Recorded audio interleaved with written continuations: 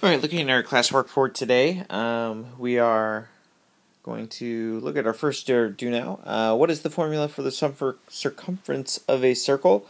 Um, this is something that we should just have memorized. Uh, we know that c is equal to pi d. We also know that we can replace the d with uh, with 2 times the radius, pi times 2r. Um, so we know that's an option as well, but none of the rest of these are correct because r squared is not the same thing as 2 times r. What is the formula for the area of a circle? Um, that's pi times radius squared. That's again something that we should have memorized at this point, and we need to use these formulas over and over and over again. It says a circle has a diameter of 4. What is the circumference of a circle?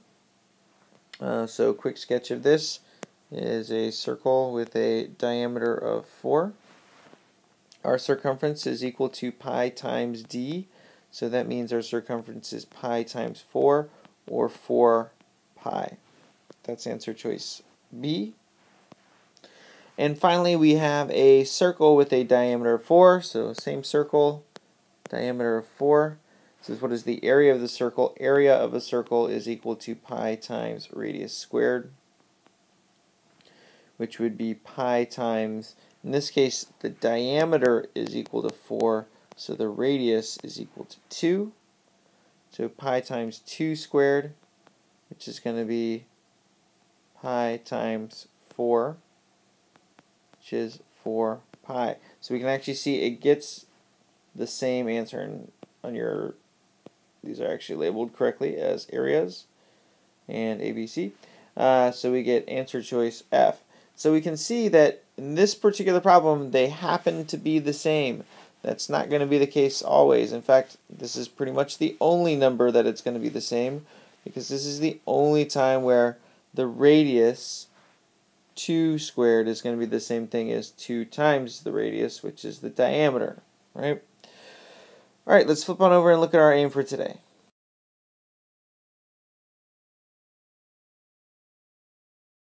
Today's aim KIPPsters will be able to find the area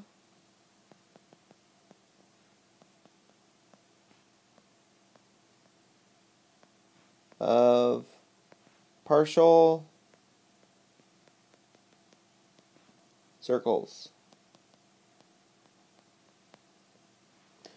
So we're going to start with a little bit of an exercise here. Um, we're going to go one step at a time, so you and your team should be able to do these problems independently and then check back in with the video once you've figured each of them out. Um, that's kind of going through these first uh, four pieces, and then hopefully that'll get you set up pretty quickly to be able to do the rest. Alright, so it says draw a circle with a diameter of 12 and a square with a side length of 12 on grid paper uh, determine the area and the square of the circle. So you've kind of got a grid in the back of your paper, so that's why we're going to use that.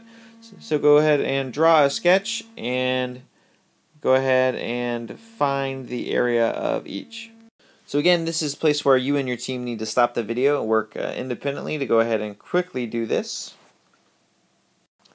Alright, as a quick check-in, um, you should have your sketches drawn like this, um, area of your circle is going to be pi times radius squared. So the radius is 6 if the diameter is 12.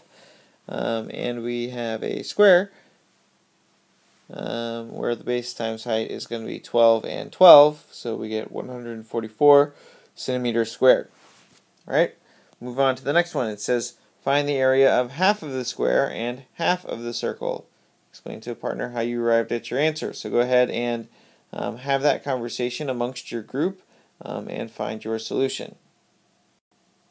All right, thinking through this with your partners, hopefully you came up with 18 pi and 72 as your halves. Um, so one way to think about this is to think about this as well. We had the area and now we have half of that area because we basically folded it in half or cut off half of it. Um, that means we divided the area into two. Um, so um, using that idea, this is similar to the idea that we used when we were finding the circumferences of half of a circle and the circumferences of parts of a circle as well. Go ahead and move down. The next one says find one fourth of the square um, and 1 fourth of the area of the circle. Go ahead and do that on your own. Pause the video. Alright, again, we should have come up with 9 pi, that'd be 1 fourth, and 36, which would be 1 fourth of 144. So coming up here, now we're being asked to, I want you to write a general expression that will express the area of a semicircle and the area of a quarter circle. So if you don't know what the radius diameter is, what would you do? What would you write as a general expression to find the area of a semicircle and the area of a quarter circle. Go ahead and pause and discuss that with your group and go ahead and make sure that you guys have a single answer for the whole group. So if we're talking about a semicircle, that means we're talking about half of a circle. So the area of half of a circle is going to be half of the area of a circle, which is going to be half of pi times radius squared. We're looking for a quarter circle that is one fourth of the circle, so the area would be one fourth of pi times radius squared. And we can use these expressions to find the area of these partial circles over and over and over again. So this one down here says what is the area of a quarter of a circle? Um, so we're told that the radius of this quarter circle is 6 centimeters. Um, so we have one fourth of the area of a total circle, which is one fourth of pi times radius squared. It's going to be one fourth of pi times the radius, which is 6 squared. So that's 1 fourth, and again remember 6 squared, that's not 6 times 2, that's 6 times 6 times pi times 36 rearranging my terms 1 fourth times 36 times pi. This is going to be equal to 9 pi. Alright, this one says find the area of the following semicircle. So this one we have to be careful. We're given the diameter here, and when we're dealing with our area formulas, all of our area formulas use the radius. So I find the radius here is 7. Find the area of the semicircle. Okay, so the area of a semicircle is going to be half of the area of a circle. So half of pi times radius squared. And so that's going to be half of pi times 7 squared. It tells us to use to use pi is equal to 22 over 7. So I can do this as 1 half times 22 over 7 times 7 squared is going to be 49. So I can think about that as 49 over 1. And there's a couple different ways we could go about doing this math. We can multiply top times top times top. So 1 times 22 times 49, um, and 2 times 7 times 1, and that would give me some large number over 14. Uh, we can also cross cancel, so this would be cross canceling 2 would give me 11. Cross canceling this would give me 7 um, and 7 here. So we'd actually end up with just 7 times 11, which is 77 centimeters squared. Do the same thing um, by doing this multiplication. Uh, 22 times 49 is equal to 1078 and dividing by 14 would give us 77 as well. So same same result there. Alright, so find the area of a semicircle with a diameter of 42, use 22 over 7. So go ahead and draw a sketch um, and see if you can't do this one on your own.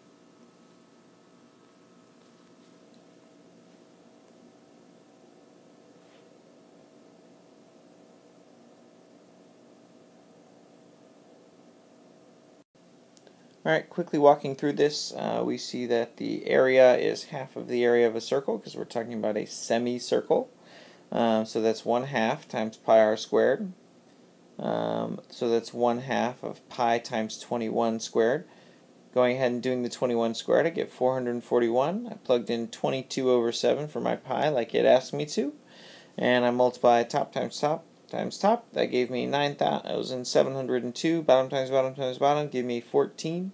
9,702 divided by 14 gives me 693 centimeters squared. Alright, flip on over to the other side. you Got a few problems to work out on your own.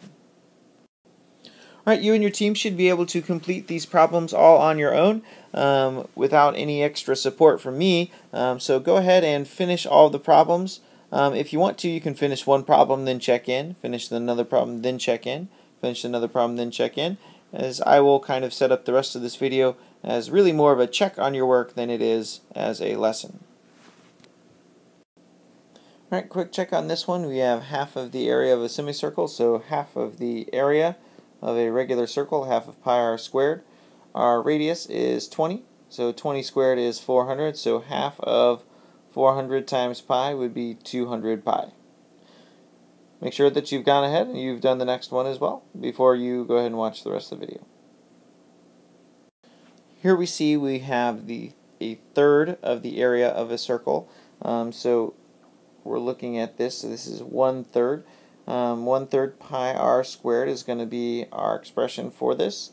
Our radius is 15, so I'm putting in 15. 15 squared is 225. And then one third. and just to make sure that we're on the same page here, I think a lot of people have trouble with putting this one in the calculator. One third is the same thing as dividing by 3. So multiplying by one third is the same thing as dividing by 3. If it helps, you can put it as top times top and bottom times bottom and you'll see that it ends up being the same thing as dividing by 3. Alright, make sure you've got the next one done before you move on. Alright, with this one we have to be really careful here. It tells us that the diameter is 12. Um, in order to use area formula, we need to know the radius. The radius is 6. So this is 1 fourth of pi times radius squared, 1 fourth pi times 6 squared, which is 1 fourth pi times 36, and 1 fourth times 36 is going to give me 9 pi, 9 pi centimeters squared.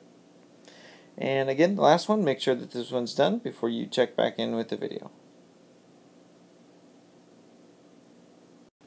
Alright, so looking at this, we have the area of the semicircle, diameter of 32. Once again, diameter, we need to find the radius in order to find the area. This is going to be half of pi r squared. 1 half of pi times 16 squared, half of pi times 256. Half of 256 is not is 128, not 228. 128 centimeter, 128 pi centimeter squared. Alright, and coming over these last two problems, make sure that you've done both of these problems before you move on with the video to check your answer. Alright, so looking at this problem, Again, we have to be careful. We're given the diameter, so we need to know the radius. The radius would be 2.5. Um, the other common mistake I think is once we get this all plugged in is making sure that we're thinking about order of operations. We have to do this exponent first. Okay, that's why we're doing the 2.5 squared first. Gives me 625.